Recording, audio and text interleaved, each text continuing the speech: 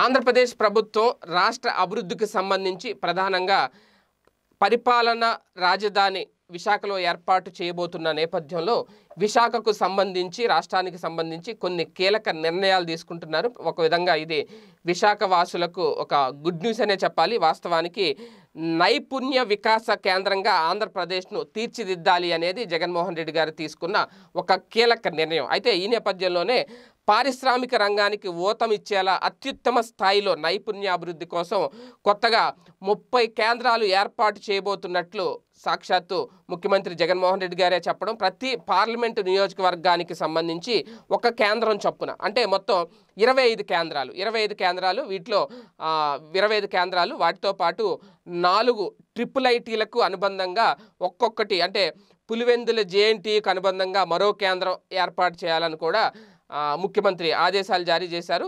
అలాగే వీటి పర్యావరణకు అలాగే వీటి పర్యవేక్షణకు సంబంధించి ఒక కేంద్రీకృత వ్యవస్థను ఏర్పాటు చేసి దాన్ని భవిష్యత్తులో మరి మరింత విస్తరించాలి అని చెప్పి అధికారులకు సీఎం ఆదేశాలు జారీ చేయడం.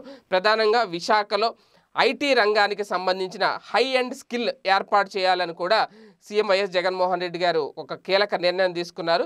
దీనికి అనుబంధంగా సెంట్రల్ ఆంధ్ర అలాగే రాయలసీమ ప్రాంతాల్లో మరో రెండు సంస్థలను కూడా ఏర్పాటు చేయాలని చెప్పడం ఇంజనీరింగ్లో ఉత్తమ ప్రతిభ కనపరిచిన విద్యార్థులకు వీటిలో ప్రవేశం కల్పించాలని వారిని మరింత అత్యుత్తమంగా తీర్చిదిద్దాలని కూడా జగన్మోహన్ రెడ్డి గారు అధికారులకు ఆదేశాలు జారీ చేశారు. వీటికి సంబంధించి నలభై ఐదు రోజుల్లోగా భూముల గుర్తింపు అలాగే ఆర్థిక వనరుల సమీకరణ పూర్తి కావాలని కూడా ముఖ్యమంత్రి ఆదేశాలు జారీ చేయడం ఇదంతా కూడా అంటే విశాఖకు సంబంధించి తీసుకున్న కీలక నిర్ణయాల్లో ఇదొకటి అనమాట అంటే హై అండ్ స్కిల్ ఏర్పాటు చేయడం అంటే విశాఖలో ఒక రకంగా ఇది అందరికీ కూడా చాలా ఉపయోగపడేది. అంటే నైపుణ్య వికాస కేంద్రం అందరిలో కూడా నైపుణ్యాన్ని పెంపొందించేందుకు దానికి సంబంధించిన కేంద్రాలు అది కూడా మొత్తం పార్లమెంట్ నియోజకవర్గానికి ఒక్కటి చొప్పున మొత్తం ఇరవై ఐదు కేంద్రాలు నైపుణ్యాభివృద్ధి కోసం ఏర్పాటు చేయడం అంటే నిజంగా చాలామంది ఉపాధి కోరుకునే వాళ్ళు వాళ్ళల్లో నైపుణ్యతను పెంపొందించుకునే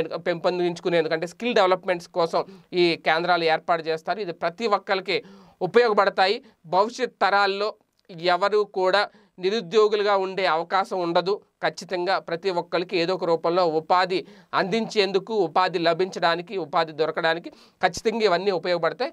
ఇది నిజంగా జగన్మోహన్ రెడ్డి గారి తీసుకున్న నిర్ణయం నిజంగా అభినందించాల్సిందే. ఈ వీడియో గనక మీకు నచ్చినట్లయితే లైక్ చేయండి షేర్ చేయండి. మరిన్ని వీడియోస్ కోసం మా ఛానల్ను సబ్స్క్రైబ్ చేయండి.